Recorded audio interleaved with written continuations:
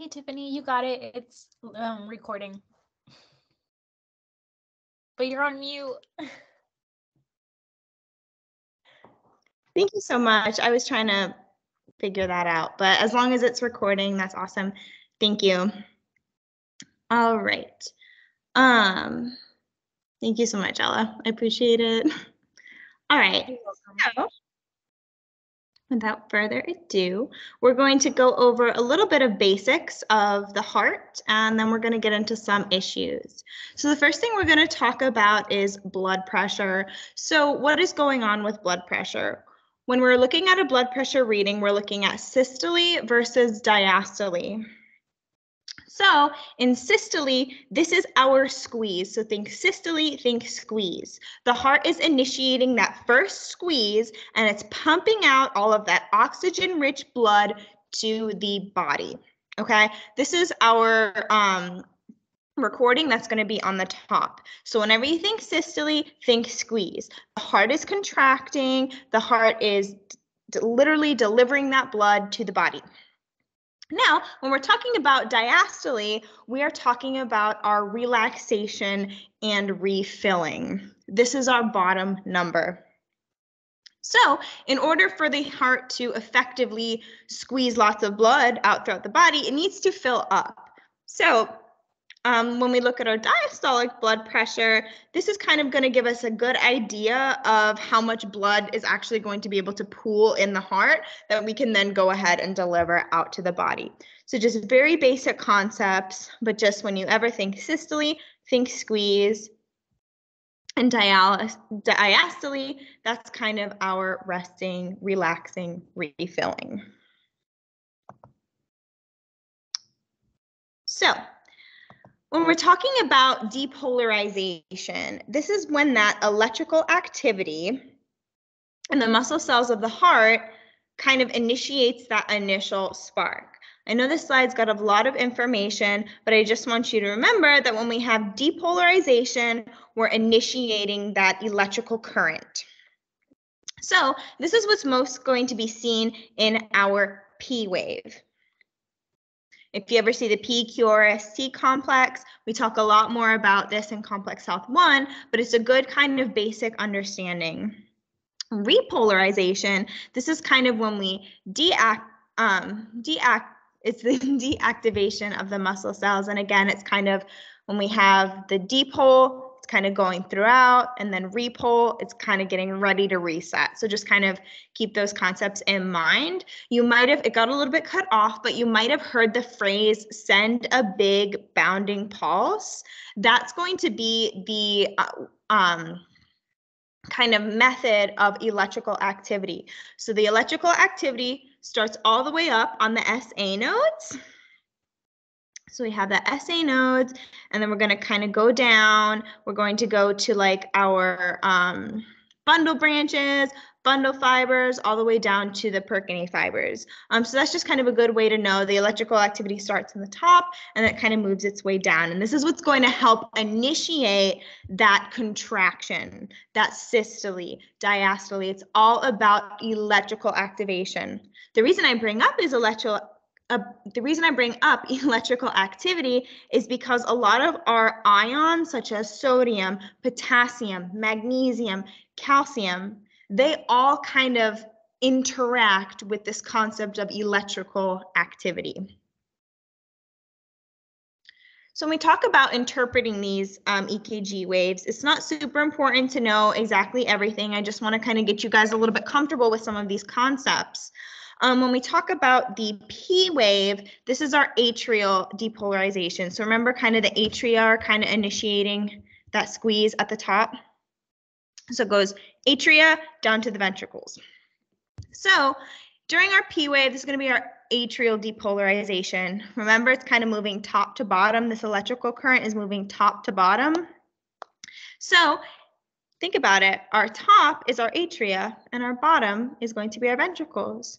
So during that first wave, that's the atria, that QRS complex, just that electrical current moving down to the ventricles. When we finish that QRS complex, as we're kind of going through the ST wave, that's like our resting phase. What's our resting? Repolarization. So just to kind of help out with that a little bit. The concepts of preload and afterload are really important when we start talking about any sort of stenosis or stiffening issues with heart failure. Um, when we have preload, this is how much blood is in the ventricles at the end of diastole. So what is diastole? Diastole is filling. So we are filling up the ventricles so that we can push the ventricles into the um, heart so that we can kind of get it out through the body. Um, so remember, our ventricles, they're at the bottom. They're going to be what's kind of sending that blood out to the body. So with preload, how much blood is filling in my ventricles before my ventricles go and send it out to the body? So this is our preload. Um, in hypervolemia, that's when we have a lot of fluid overload. Well, fluid overload will increase our blood pressure. If I have a lot of excess fluid, that's going to increase my preload because I just have a lot more stuff I got to push through the ventricles. Our afterload is the resistance it must overcome to circulate blood. So when you think afterload, how much force does it take for me to shoot this blood out through the body? So with our heart failure, stiffening of the ventricles, any sort of damage to the heart, it might be really hard for my heart to really just kind of squeeze all that blood out. And what does that do? It impairs circulation. So those are just your concepts of preload and afterload. Dysrhythmias. So when you think dysrhythmia, think different. So this is a different or abnormal heartbeat. It's still a heartbeat, it's just a little bit different. It's not going to look like your traditional PQRST complex. Again, we go over the exact perfect numbers of your PQRS complex, how many boxes of space, all of that when you get to complex health one. Just understand the basics of dysrhythmias. There's a difference between a dysrhythmia and an arrhythmia. So when we think arrhythmia, think absence absence of a heartbeat. So your asystole is a arrhythmia. Whereas our dysrhythmias, they're just a little bit different. If someone has sinus tachycardia, if their heart rate's 180, still a heart rate, it's just different than our normal findings. Same thing with our bradycardia. So just kind of keep that in mind. So we talked a little bit earlier about the electrical conductivity of the heart. So when all is well, we've got great conduction. But our sodium, potassium, magnesium, chloride, all of these electrolytes can mess with the heart. Specifically, pay attention to sodium and potassium. These are going to be our most life threatening issues. We talked a lot about hypo and hyperkalemia, and I always said if there's any potassium imbalance, my heart is not okay. Well, this is why. It's because all of those, you know, um, when you look on the periodic table, they kind of have plus, minus, electrons. It kind of goes back to that basic chemistry. But with our potassium, it's an elect electrolyte. Um, sodium, electrolyte. So think it, it's messing with that electrical activity of the heart. So if I have any differences, if I'm hypo or hyper, it's going to irritate my heart a lot. Specifically with potassium, in instances of hyperkalemia, it irritates the Purkinje fibers so much, it causes absolute electrical chaos. And when we have electrical chaos, we can't function properly. Just kind of review. Um, sodium can affect it, specifically potassium, magnesium, calcium chloride. Um, a little hint for when we do pathophysiology, we give calcium channel blockers. Why do we do that? Well, we're trying to help fix the electrical conductivity. So I included um, this little diagram I made. This is going to be our blood flow through our heart.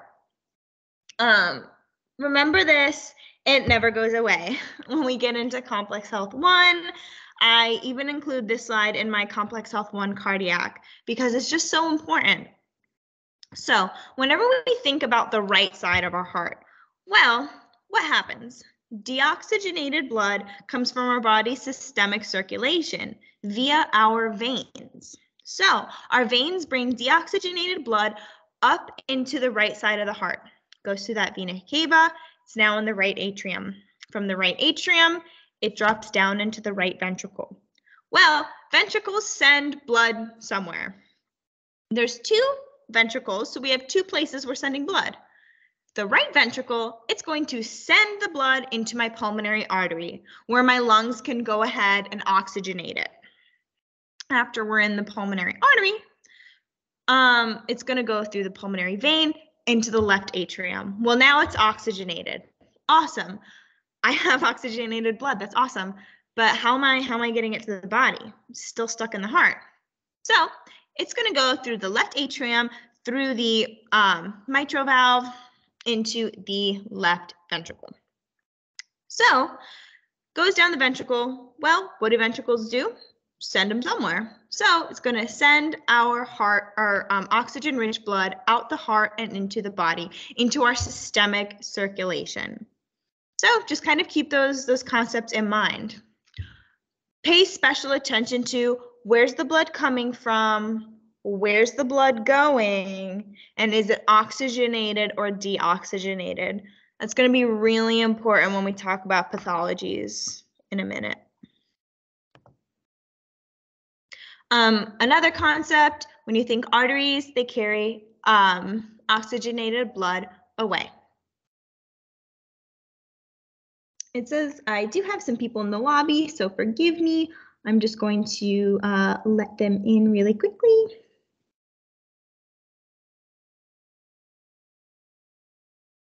Okay.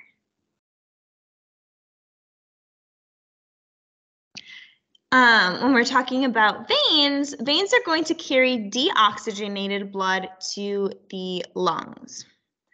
When we start going into like phlebotomy skills, IV draws, IV sticks, how do you know if you're in a vein or if you're in an artery? Well, if you are in an artery, you're going to feel a pulse. If you're in a vein, you're not going to feel a pulse. It's just because the arteries are sending all that blood away from the heart. It can be a little bit tricky. Just kind of keep that in mind. Again, um, when we talk about our pulmonary vein and our pulmonary arteries, this is what's supplying the actual heart with oxygenated rich blood. Because the heart supplies the whole body with oxygenated blood, but then we have to think about it. Well, well, the heart's feeding everyone. Who, who's feeding the heart? Well, the heart's pretty cool. It does it on its own. So the pulmonary vein is going to take that deoxygenated blood um, and then take it directly to the lungs and then right back to the heart. Awesome.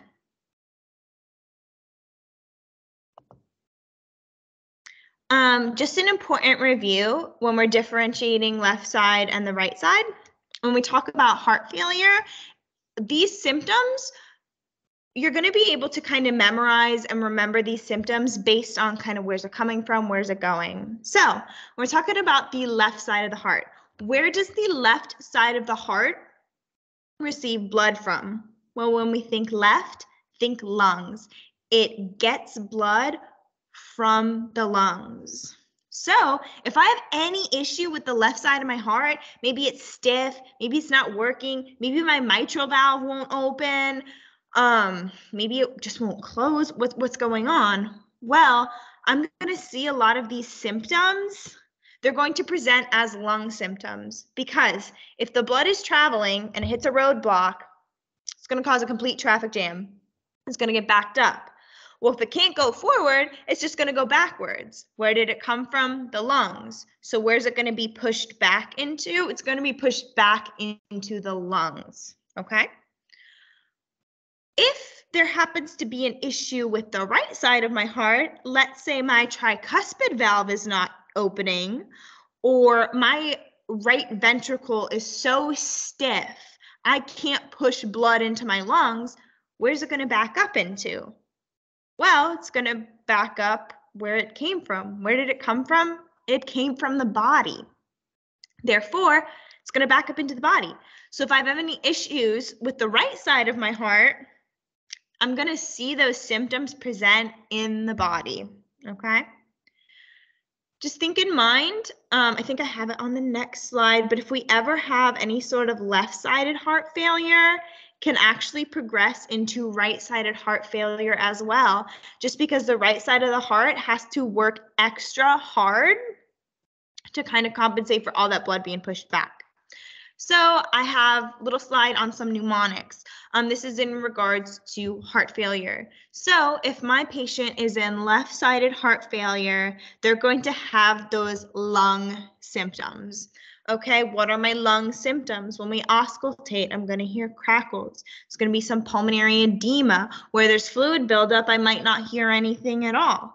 Pink frothy sputum is a big one. Um, when we have nocturnal dyspnea, that shortness of breath when they're trying to sleep. Why is that? Well, they're lying down. Um, restlessness, confusion, um, etc. If I'm having right-sided heart failure, where's that blood being pushed back into? It's being pushed back into the body. So what am I going to present with? JVD is a really big one. Um, jugular vein distension. I'm going to see big, big, big bounding veins on my neck.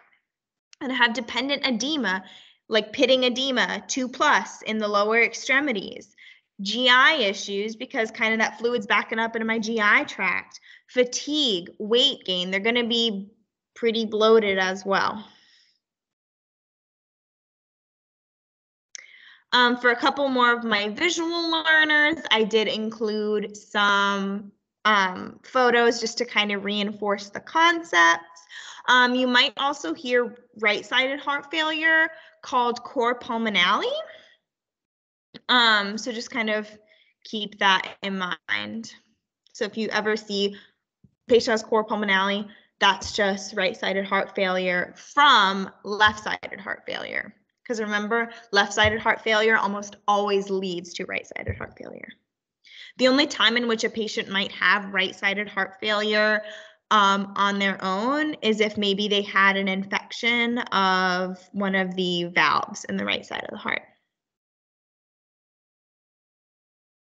Again, another picture. Just pay special attention to our left-sided heart failure.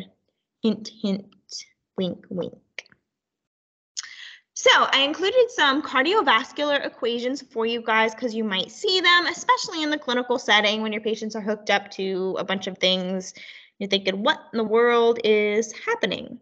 I also included, I know you guys, you might have already had some ATI calculations. Um, but sometimes when you're doing like med surg stuff or MedSurg ATI, you might have some like calculate the MAP questions. So just kind of review how to do that. Um, our mean arterial pressure, this indicates how well we're perfusing my organs. So if I have really bad heart failure and I'm having a hard time sending oxygenated blood out to my, my organs, my organs aren't going to be perfused as well as they should. So if you calculate your patient's MAP and it's maybe 65, we're really concerned. Kind of gets below 60, we're really concerned that there's going to be some really bad organ damage. So just kind of keep that in mind. Well, it's not super important at this point to know really how to calculate some MAPs. You might have to do it on a quiz or something like that. Um, but just really understand what is the concept of mean arterial pressure. It's how well am I perfusing my organs. I need good organ perfusion in order to feed my organs and help them function accordingly. When we talk about um, pulse pressure, this is my systolic blood pressure minus my diastolic blood pressure super easy to kind of figure out. Not a lot of math to it. Just take your top and subtract it from your bottom.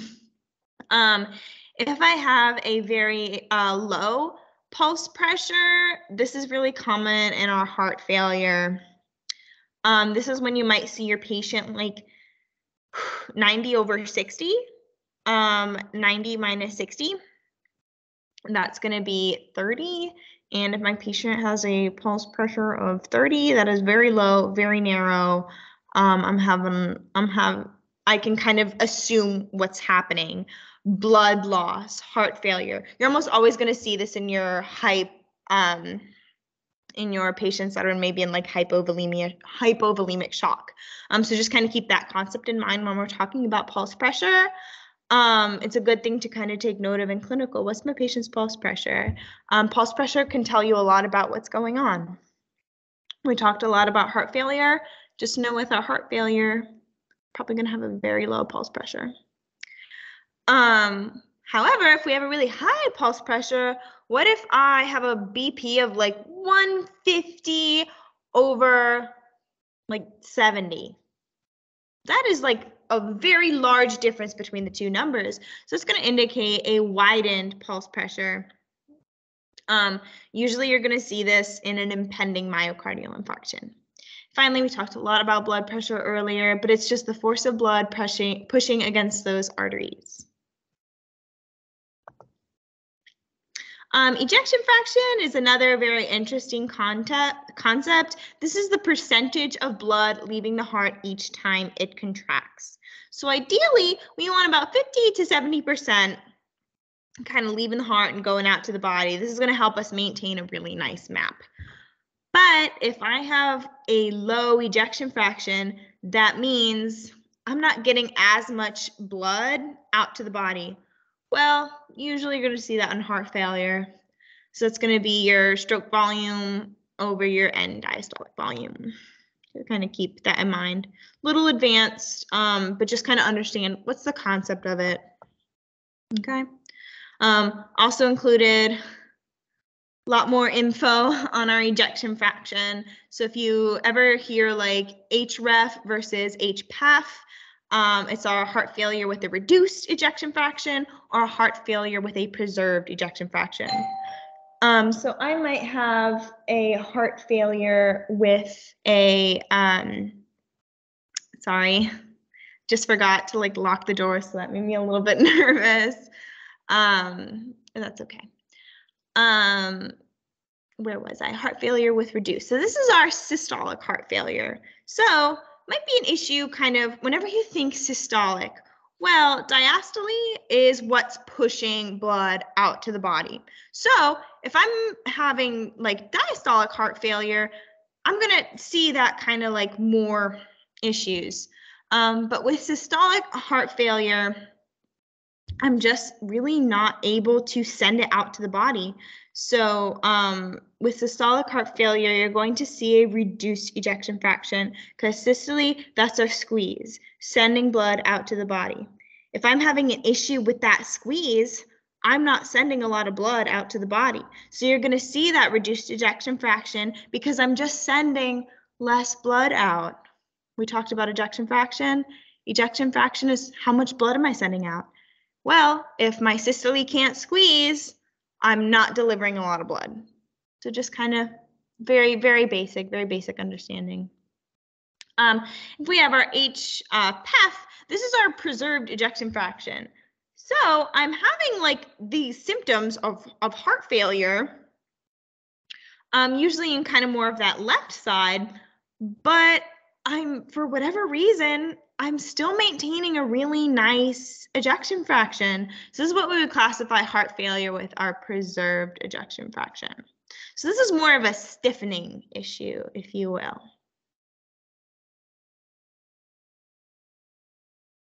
Um, I also included some ways to calculate cardiac output. Um, so this is how much blood is being pumped out of the ventricles from one minute, multiple different ways to calculate it, um, but just know it's our heart rate uh, multiplied by our stroke volume. How do we do our stroke volume? That's um, end diastolic volume minus your end systolic volume.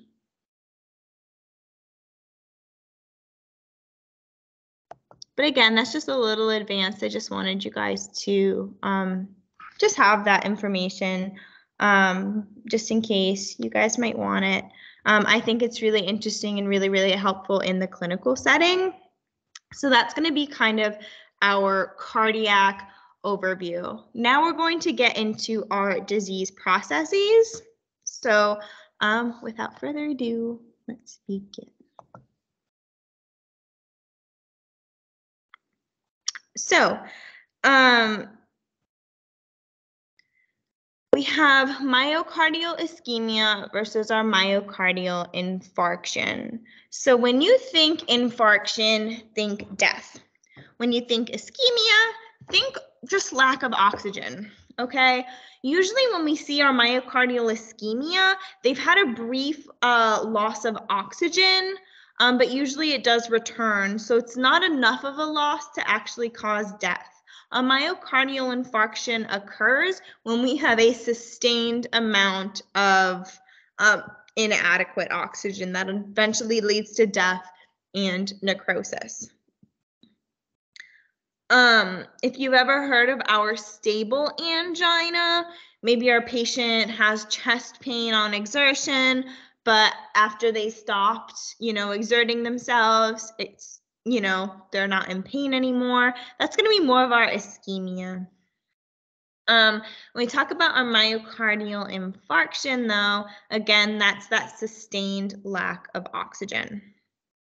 So usually um, uncorrected ischemia is going to lead to myocardial infarction. Why is this? Our number one cause of myocardial ischemia is the buildup of plaques in our coronary arteries. So as plaques build up, my coronary arteries kind of get more narrow and narrow and narrow and narrow. Well, what do the coronary arteries do? They supply the heart with oxygen rich blood. If I had a boba straw and now it's that little tiny coffee stir straw. Think about trying to push air through it. Not as effective. So just um, keep that concept in mind. Um, when we talk about our chronic venous insufficiency, this is what's going to be our circulatory stasis. Um, when we get into uh, Virchow's triad, we'll talk a little bit more about this but there's a couple different types of chronic venous insufficiency. When you think about this, all it's saying is I'm having some venous insufficiency. My veins, what do they do? They bring deoxygenated blood up into the heart to become oxygenated. But if I'm having some venous insufficiency, I'm having a hard time taking my blood from the veins and put it in the heart. Um, so you might see a variety of different types of chronic venous insufficiency. Usually our varicose veins um, are kind of a subcategory of this, but usually just think with the symptoms.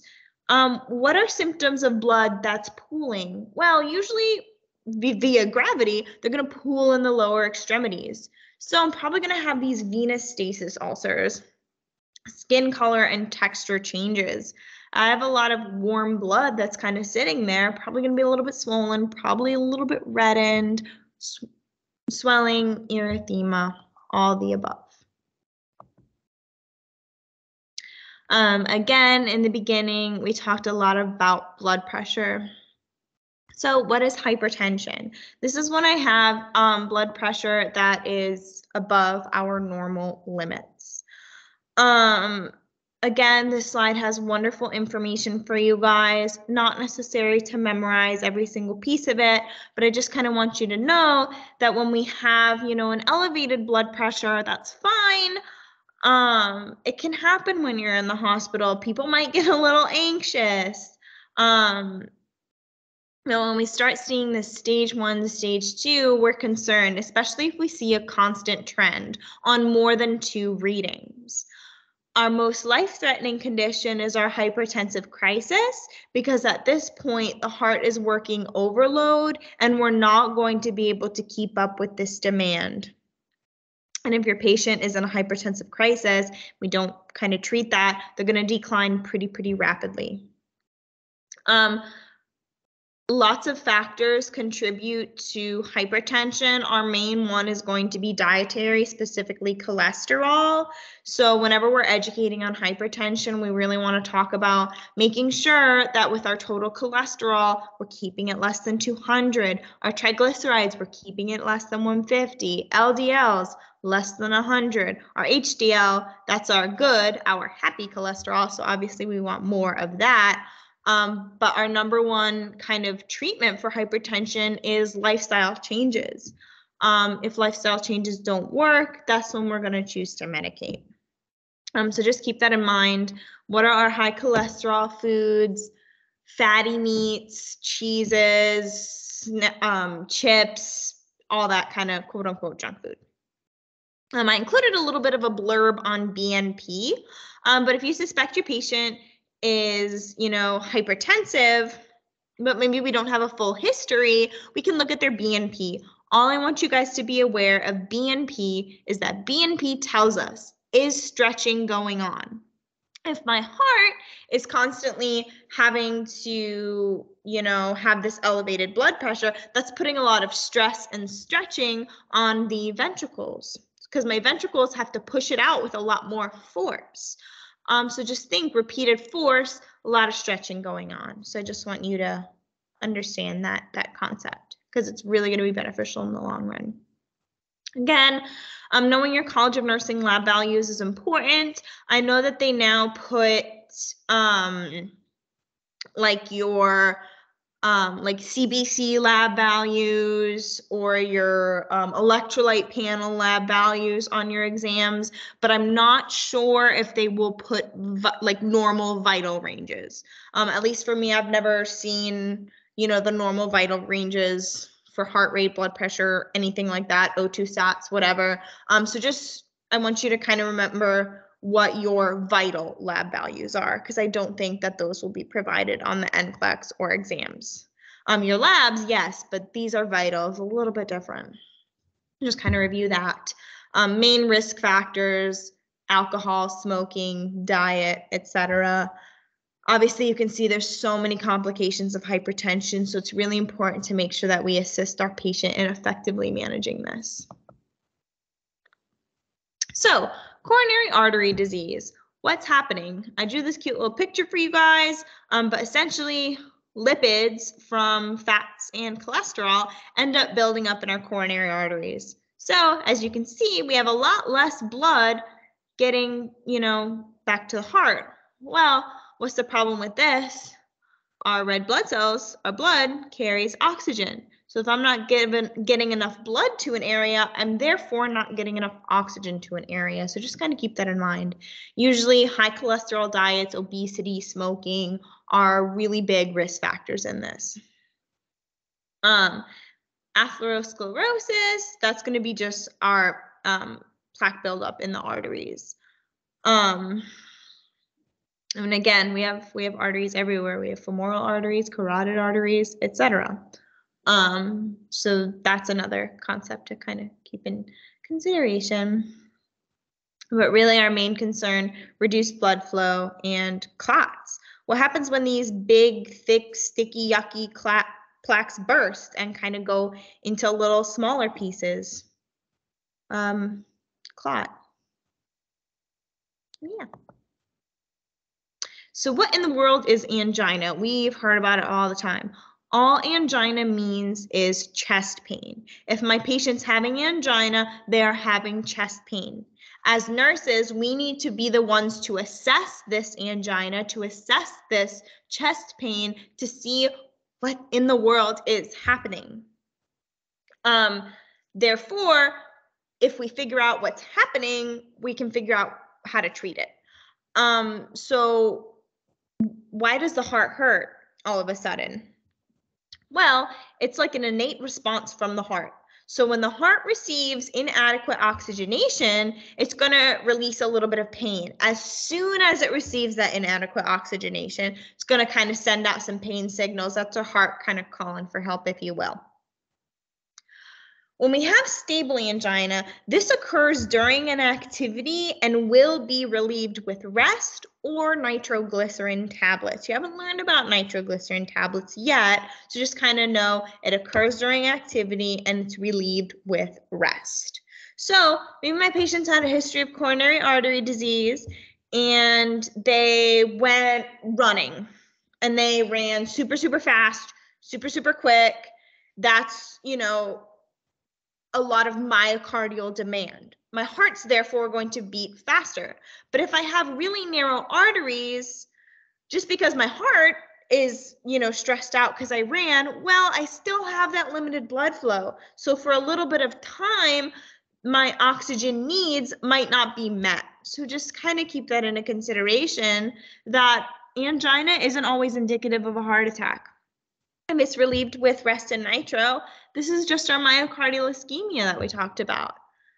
When we get concerned is when we have this unstable angina. So this occurs even at rest. So maybe my patient um, was out shoveling snow. For those of you that are up north, um, was shoveling snow and came in and just had severe chest pain.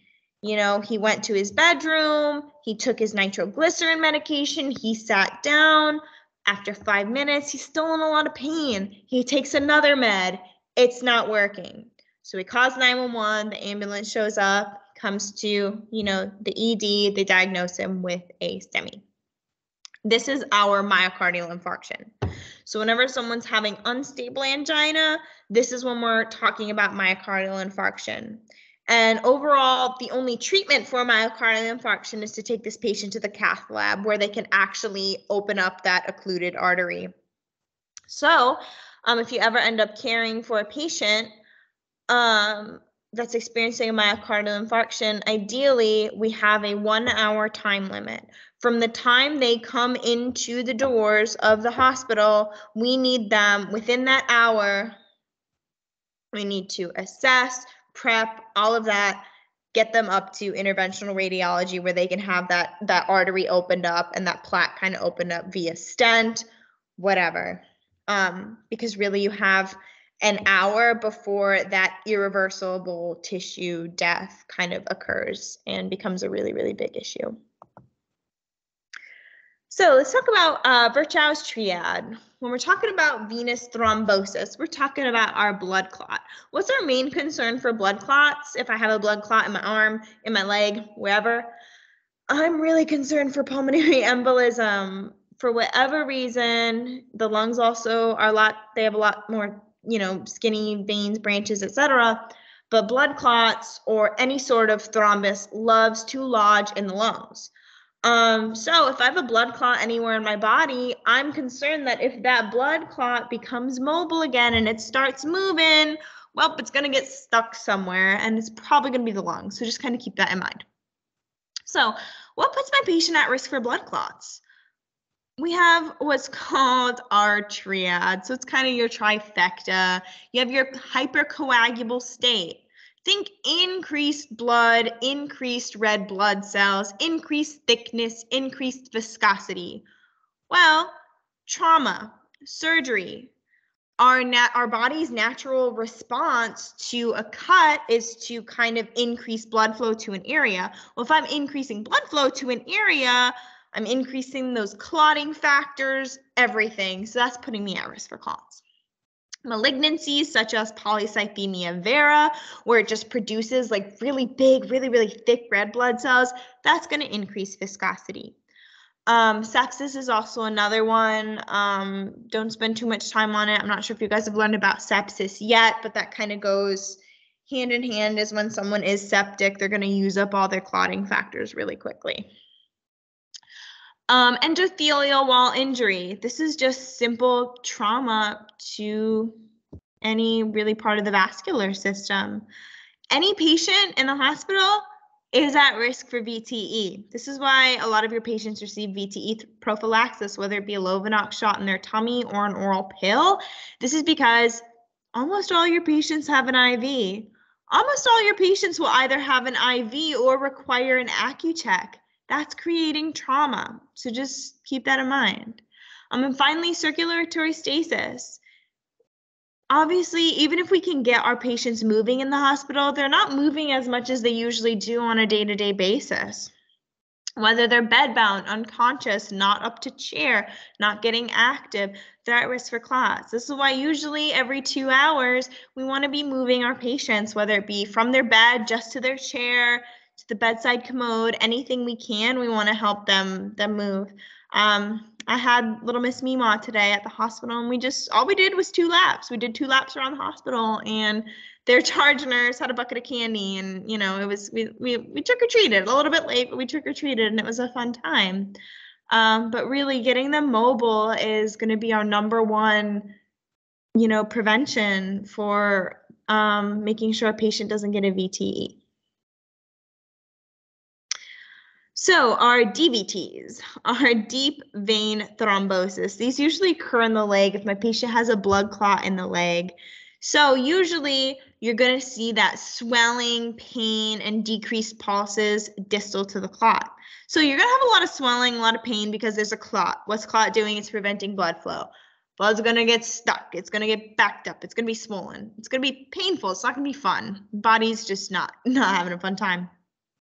You're going to feel pul- decreased pulses distal to the clot because my clot is preventing a lot of blood flow. Blood flow is going to create that pulse. Um, so just kind of a concept.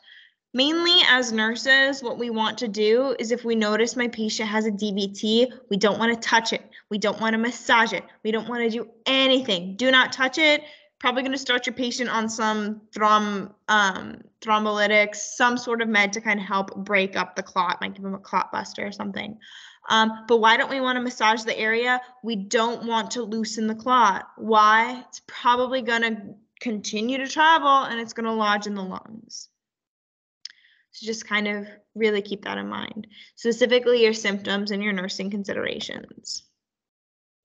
Last but not least, we're going to talk about some of the most common um, pediatric cardiovascular alterations. So, um, our most common is going to be our VSD, our ventricular septal defect. Um, I drew this little picture for you guys and I highlighted kind of what's going on. Um, so there's essentially a hole in the wall of the septum. This causes my oxygenated blood to be mixed with deoxygenated blood. Um, just because it's a structural issue. Our signs and symptoms, you're going to kind of hear murmur, grunting during um, feeds. Um, usually they don't present with too many signs and symptoms, but they might have some increased pulmonary blood flow. Why? Because that blood from the um, left side of the heart is getting pushed back into the right side of the heart. Well, see, it's in the ventricles. So if I push blood from my left ventricle through the hole into the right ventricle, well, what does the right ventricle do? It, it puts the, the blood into the lungs. So that's just putting a lot of extra blood into my lungs and a lot of extra pressure on my lungs. So this is why usually these patients will present with that pulmonary hypertension or some of our pulmonary symptoms. And this is just because it's putting some extra stress on my lungs. So that's what we want to really monitor and, and keep our eye on. Up next, we have our tetralogy of Fallot. Um, when you think tetra, think four there are four heart defects going on in these patients. Number one is our pulmonary stenosis. Um, what does our pulmonary valve do? It takes blood from the right ventricle to the pulmonary artery to become oxygenated. If that pulmonary valve is super stiff, it can't effectively, it, it just requires a lot of extra work to, to get to the lungs. Talk about right ventricular hypertrophy my right ventricle is really, really stiff. What does my right ventricle do? It um, sends it again to that to the to the lungs. So again, now we're really not getting getting blood flow to the lungs. Um, overriding aorta, um, the aorta ends up kind of straddling the ventricular septal defect. So again, we're kind of crushing that that area. And then finally, that ventricular septal defect that we previously talked about, um, that's present too. So just think this is putting a lot of stress on the pulmonary side of things. Um, these patients are going to present cyanotic. Why? Because they're having decreased oxygenation. Why? A lot of lung issues um, specifically with oxygenating the blood in the lungs. So they're going to have TET spells. You're going to see cyanosis and they're going to have hypoxemia. Um, the patient will actually sat at 65 to 85 percent. Um, however, these kiddos have come to figure out that if they sit themselves in the tripod position or put their knees up to the chest, it kind of deplaces that overriding aorta and it kind of makes them a little bit more comfy and it improves breathing and blood flow. So you might see your patient satting at about 70. You put them in this position, take some deep breaths, you're going to see their O2 sats begin to rise. They're going to also have clubbed fingers. This is just from chronic hypoxemia and just a chronic finding. Um, if you ever see like clubbed fingernails, it's not because something happened super quickly. It, it occurs over time. Um, they're also going to have polycythemia. This is because they have increased hemoglobin and hematocrit because of that hypoxemia. The body's really good. It wants to adapt as best as it can. So if I am constantly not receiving enough oxygen, my body's going to produce a little bit uh, more hemoglobin simply to try to increase the oxygen carrying capacity. Um, again, acute cyanosis at birth is a big one, difficult feeding and poor growth, um, pretty common. Bear with me, these drawings aren't the best, but I, I did try. Um, when we talk about a coarctation of the aorta, this is our narrowing of the aorta. Um, and what does our aorta do? It sends blood away from the heart out to the body. So if my aorta is really narrow, it's going to impede blood flow out to the body. Um, with this one, we see some some different signs and symptoms, specifically when we differentiate the upper extremities and the lower extremities. So if I take a blood pressure in their arm, they're going to have really high blood pressure and some bounding pulses. But if I take a blood pressure on their leg, I'm going to see some low blood pressure, cool temperature, and pain.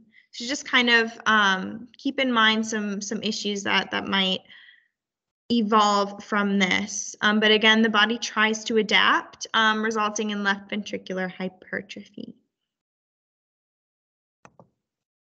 And that is all I have for you guys. Um, if you have any questions, please let me know. I'll stay on for a little bit. I hope that this was helpful and that you guys did benefit from this. And if you guys could provide any sort of feedback, that would be very much appreciated. Um, but I kind of liked this style of kind of going through an organ system because I think it kind of really puts everything into perspective and it allows us to really dive deep into such a complex system and kind of make it a little bit easier. But if you have any questions, please put them in the chat. You can unmute yourselves, anything at all.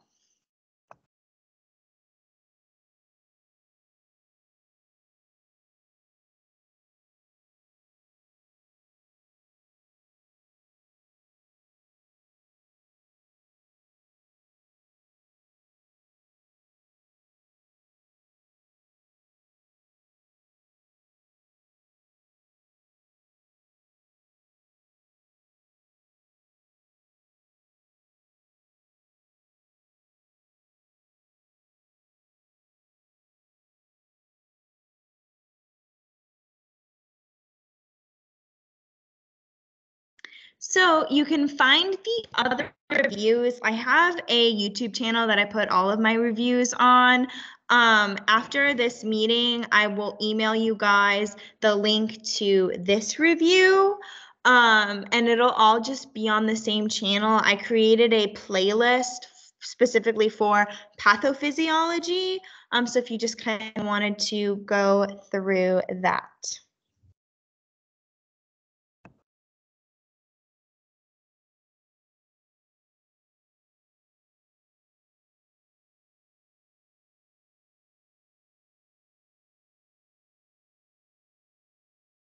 But if you're looking for renal and respiratory, that will also be um, in my patho playlist.